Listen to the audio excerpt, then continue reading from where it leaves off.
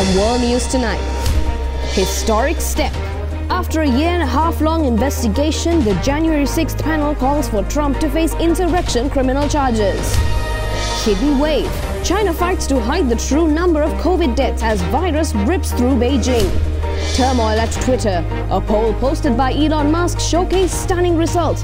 Will Musk abide by the outcome? And Christmas regatta. Dozens of Santa Claus swapped their beloved sleighs for gondolas as they rode along Venice's canals.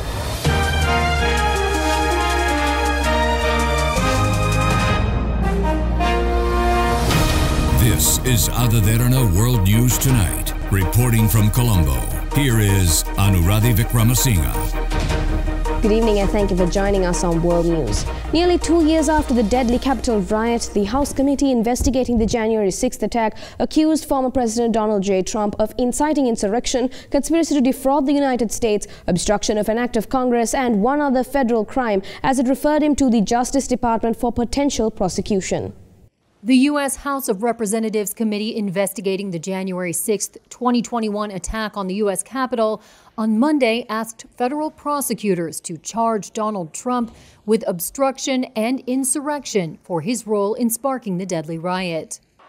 The criminal referral for a former president, the first such recommendation from Congress in U.S. history, came at the final public gathering of the nine member panel that spent 18 months probing the unprecedented attempt to prevent the peaceful transfer of power by thousands of Trump backers, inspired by his false claims that the 2020 election loss to Democratic President Joe Biden was the result of widespread fraud.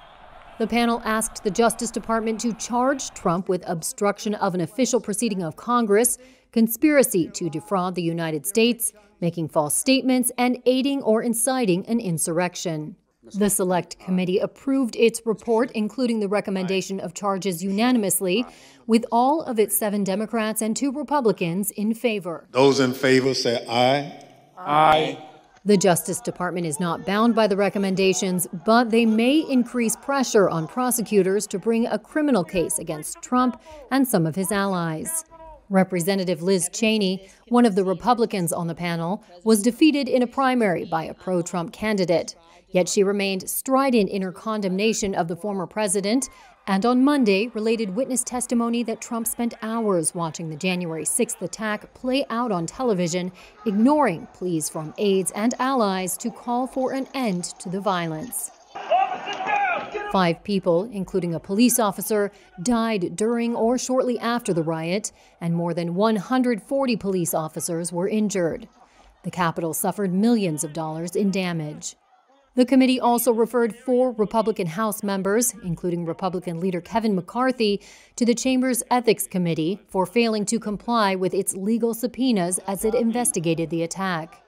The committee's request to the Justice Department comes as a special counsel is overseeing two other federal probes of the Republican former president related to his attempt to overturn his 2020 election defeat and the removal of classified files from the White House. We will make America glorious again. Trump has already launched a campaign to seek the Republican nomination to run for the White House again in 2024. Thailand's military deployed warships and helicopters to try to locate 33 Marines missing after a corvette sank overnight in choppy waters in the Gulf of Thailand. Three Navy vessels and two helicopters were sent to find the missing off the south of Bangkok after the HTMS Sukhothai warship suffered an engine malfunction and went down just before midnight about 20 nautical miles off the coast. Warships and helicopters scoured the choppy waters of the Gulf of Thailand on Monday in an effort to locate 33 Marines missing after a warship sank overnight. The Thai Navy deployed three of its vessels and two helicopters to find the missing off Prachuap Khiri Khan province, south of Bangkok. The corvette they were aboard, the HTMS Sukhothai warship, suffered an engine malfunction and went down just before midnight, about 20 nautical miles off the coast. An overnight rescue mission in bad weather secured 73 of the 106 people aboard, the Navy said but the remaining 33 were forced to abandon ship. The Navy posted images on its Twitter account showing a group of personnel on an inflatable raft moving away from a ship in darkness as waves swirled around it. it was not immediately clear how many rafts had been deployed. The US built Sukhothai has been in use since 1987. It was hit by strong waves on Sunday, forcing it to tilt to one side before becoming flooded with seawater. President Vladimir Putin of Russia made a rare visit to Belarus to strengthen his bond with the country's president and his closest regional ally Alexander Lukashenko, a fellow strongman who has been under growing pressure from Moscow to provide more support for the war in Ukraine. Ukrainian officials said the capital city of Kiev suffered additional strikes, although those explosions appeared to cause no fatalities despite causing damage to critical infrastructure. As Russian President Vladimir Putin touched down in Belarus on Monday, Ukrainian fears rose that he would pressure ally and counterpart Alexander Lukashenko to open a new front in the war. It's Putin's first visit to the country since 2019. Still, in a joint news conference, the pair hardly mentioned the war at all. Both Lukashenko and Putin also dismissed fears from Belarus's largely silenced political opposition about a creeping Russian absorption of its much smaller neighbor. Russia is not interested in absorbing anyone, Putin said. It just doesn't make any sense. Lukashenko has repeatedly said his country will not be drawn into the war. Although Russian forces used Belarus as a launch pad for an attack on Kiev in February, and there has been Russian and Belarusian military activity there for months. Russian troops that moved to Belarus in October will conduct battalion tactical exercises, Russia's Interfax news agency reported, citing the defense ministry. It was not immediately clear when they would start. U.S. State Department spokesperson Ned Price said the two leaders' track record spoke for itself. Look, I think a, a statement like that uh, has to be treated as the height of irony, uh, coming from uh, a leader who is seeking, at the present moment, right now, uh, to violently absorb uh, his other uh, peaceful next door neighbor. The meeting comes as Russia hit key energy infrastructure in and around Kiev in a so called kamikaze drone attack. Ukrainian officials said air defenses shot down 23 of 28 drones, most over the capital. No casualties have been reported from the strikes. Monday's attack marked the third Russian airstrike in less than a week and the latest in a series over the past few months, targeting Ukraine's power grid, causing sweeping blackouts during sub zero temperatures. In his nightly address on Sunday, Ukraine's President Volodymyr Zelensky said his country was ready for all possible scenarios with Russia and its ally Belarus. Putin calls the invasion a special military operation to denazify Ukraine. It's the biggest conflict in Europe since World War II. Cities have been reduced to ruins, tens of thousands have been killed, and millions driven from their homes in the 10 month old conflict. Estonian Prime Minister Kaja Kallas confirmed continued support for Ukraine at the meeting of the leaders of the countries belonging to the Joint Expeditionary Force held in Riga. The meeting focused on strengthening security in the Baltic Sea, the North Atlantic and the far north. According to Kallas, the past year signifies the importance of the force. A UK-led group of 10 northern European nations has pledged to further help Ukraine defend itself from Russian aggression. The Joint Expeditionary Force was set up to accelerate a common response to Russian threats. During a meeting in Riga, the Latvian capital, assembled leaders heard a plea from the Ukrainian president for more weapons. I ask you to increase the supply of air defense systems to our state and to help speed up the relevant decisions of partners. A 100% air defense shield for Ukraine will be one of the most successful steps against Russian aggression. This step is needed right now. The British Prime Minister supported Zelensky's view that rather than talk of a ceasefire, Ukraine needs to push ahead with its counteroffensive. We must continue to focus on degrading Russia's capability to regroup and to resupply. And, and that means going after its supply chains and removing the international support. Uh, particularly, I'm thinking of Iran and the weapons that it's currently providing to Russia. The increased supply of high-tech Western weapons to Ukraine has played a large part in the country's battlefield successes in recent months. But maintaining that level of support is a major challenge for the West, especially given the economic disruption the war has caused and higher electricity prices consumers are facing. Now, nations have agreed to protect a third of the planet for their nature by 2030 in a landmark deal aimed at safeguarding biodiversity. There will also be targets for protecting vital ecosystems such as rainforests and wetlands and the rights of indigenous peoples. The agreement at the COP15 UN Biodiversity Summit in Montreal, Canada. A historic deal has been reached at the COP15 Biodiversity Conference in Montreal. The most significant part of the agreement is a commitment to protect 30% of land and water by 2030. Currently, 17% of terrestrial and 10% of marine areas are protected. This is a historical moment. Today we are approaching the end of a long journey, which involved numerous meetings in different parts of the world.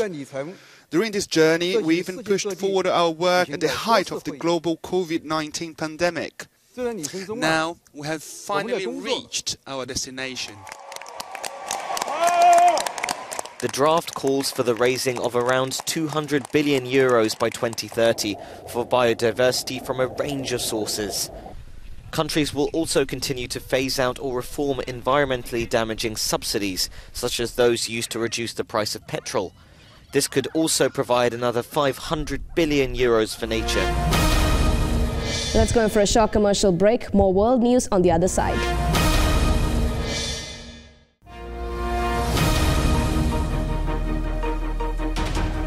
Welcome back to World News Tonight. There are growing doubts about the official number of COVID deaths that China is declaring. Evidence of a new wave is beginning to emerge in Beijing, with long queues forming at crematoriums. China has declared just eight deaths from COVID in the past seven months, but after its zero COVID policy was dropped, the virus is spreading rapidly in Beijing. On Monday, China officially reported its first COVID related deaths since the government began scrapping strict antivirus controls earlier this month.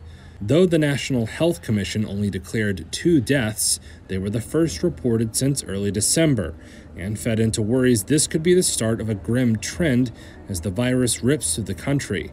Locals said there'd been a rise in demand for cremations, and hearses could be seen packing out a crematorium parking lot on Sunday. For now, residents said they weren't too worried despite the surge in infections. It can't be avoided. If you get it, you get it. If you're infected, it depends on the individual's health whether you are well or not. We try as far as it's possible to not spread it to the elderly and children. That's all I can say. Officially, China has suffered less than 5,240 COVID linked deaths over the pandemic, a tiny fraction of its 1.4 billion population and very low by global standards.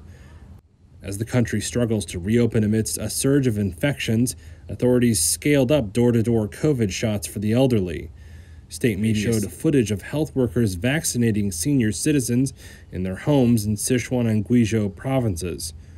Officially, China's vaccination rate is above 90%, but the rate for boosted adults drops to under 58%, according to government data. With COVID curbs lifted, health experts warn the country could be left with over 1.5 million deaths from the virus.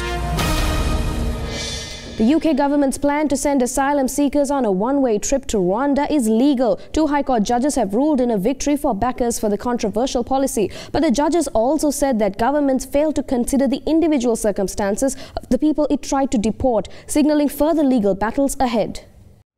Britain's High Court has ruled that a government plan to send asylum seekers on a one-way trip to Rwanda is legal. In April, the UK struck a deal with the African nation, allowing for some asylum seekers' applications to be processed in Rwanda, with applicants residing there. Even if successful, those sent there would continue to have the right to reside in Rwanda, but not the UK. The policy has been criticised due to the poor nature of human rights in Rwanda when compared to Britain, and whether the policy would actually be cost effective. Under the plans, asylum seekers were to be sent to this hostel in the Rwandan capital. So far, no one has been deported as part of the policy. The UK was forced to cancel the first deportation flight at the last minute in June after the European Court of Human Rights ruled that the plan carried a real risk of irreversible harm. This is despite Britain paying Rwanda over 140 million euros as part of the deal. While the court has ruled in the government's favour, it added that it must consider the circumstances of each case before deporting anyone, thus setting the controversial policy up for further legal battles. The South African President Cyril Ramaphosa has been re-elected as leader for the ruling African National Congress for a second five-year term in party leadership contest. Votes cast by delegates at the party conference gave Ramaphosa a clear victory over his rival Zweli Mkhize, a former party treasurer and health minister. This is the sound of the crowd cheering after South African President Cyril Ramaphosa was re-elected as the leader of the governing African National Congress on Monday a move which paves way for him to contest the presidency again at 2024 elections. Ramaphosa's political future had been hanging in the balance earlier in December after the so called Farmgate scandal. A panel of experts found preliminary evidence he may have violated the constitution over a stash of foreign currency hidden at his private game farm. He has denied wrongdoing and challenged the report in court. Ramaphosa has not been charged with any crime, but some opponents have called for his resignation. The president beat former health minister Zweli Mkhize in a ballot at a party gathering in Johannesburg, securing a second five-year term as ANC leader and suggesting continuity in economic policy. Ramaphosa won around 57% of the votes against Mkhize's 43%. South Africa's rand, banking stocks, and local sovereign bonds made gains after Ramaphosa's win. South Africa's next general election is due in 2024, following which Parliament will choose the president. The ANC has won majority of seats at every vote since multiracial elections began in 1994. Sudanese security forces have fired tear gas and stun grenades to disperse protesters who have commemorated in Khartoum the fourth anniversary of the December 2018 revolution that topped dictator Omar Hassan al-Bashir. Sudanese security forces used stun grenades and tear gas on Monday to disperse crowds of protesters. They were rallying in Khartoum on the fourth anniversary of the uprising that toppled former leader Omar al-Bashir. The protests in the capital come two weeks after the military leaders, who staged a coup last year, signed an outline deal with political parties to relaunch a transition towards democratic elections with international support. The deal faces major challenges, though. Analysts say they include limited public backing for the civilian signatory and the deferral of contentious issues, including transitional justice and reform of the security forces. Demonstrators who called for civilian rule and justice over the deaths during past protests gathered in their largest numbers for several months on Monday. They marched to within about a mile of the presidential palace. One of them is Al Jamri. The revolution will continue and will not stop. Our basic demand is to live a decent life in this country, and we will not give up our rights in any way. Even if agreements were signed between politicians and soldiers, this is not what the Sudanese people want. Police with armoured trucks blocked their way, then chased the protesters through the streets. Rallies were also reported in other Sudanese cities.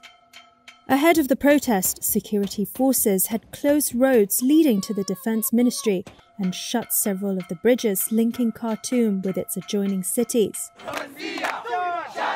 since October 2021, when military leaders deposed a civilian led government that had been set up under a power sharing arrangement. More than 120 civilians have been killed by security forces at anti military protests, according to medics. Authorities have said that peaceful protests are allowed and that protest casualties will be investigated. Twitter users voted decisively in a poll for Elon Musk to step down as chief executive of the social media platform, a backlash against the billionaire less than two months after he took over in what has been a chaotic and controversial reign. Tonight, the results of Elon Musk's Twitter poll are in. He should step down as the social media giant's CEO, according to 57.5% of respondents. More than 17 million votes were cast in the unscientific survey, which Musk said he would abide by. Minutes after launching the survey, Musk tweeting, Be careful what you wish, as you might get it. He was spotted over the weekend at the World Cup final in Doha. Just before creating the poll, Musk faced backlash for a new policy that had restricted some links to other social media platforms. That policy was deleted less than 24 hours after it was introduced. Musk tweeted that going forward, he would poll Twitter users about policy changes. After buying Twitter for $44 billion, Musk's time as CEO has been a whirlwind, marked by mass layoffs, abrupt policy changes, and account suspensions. Shares of Musk's other major company, Tesla, have plummeted more than 30% since he took over Twitter. That has left some observers to question whether this latest poll about Twitter's future could be an off ramp for its controversial CEO.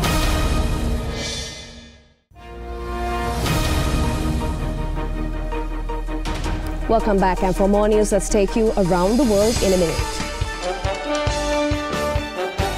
Farming in the Democratic Republic of Congo's North Kivu province has been disrupted after M23 rebels seized lands in the region. The conflict has caused the prices of essentials to shoot up, threatening a hunger crisis. Taiwan's government has opened a probe into Chinese-owned social media platform TikTok on suspicion of illegally operating a subsidiary on the island, though the company's owner denied the accusations. Actor Amber Heard said that she would settle defamation claims that were brought against her by ex-husband and fellow actor Johnny Depp, writing that the decision came after a great deal of deliberation. Thousands of ecstatic fans gave Argentina's football squad a hero's welcome in Buenos Aires after the plane carrying Lionel Messi and his World Cup winning teammates touched down at the Ezeiza airport. On board Hawaiian Air Flight 35, dangerous turbulence left dozens injured, causing medics to declare a mass casualty emergency.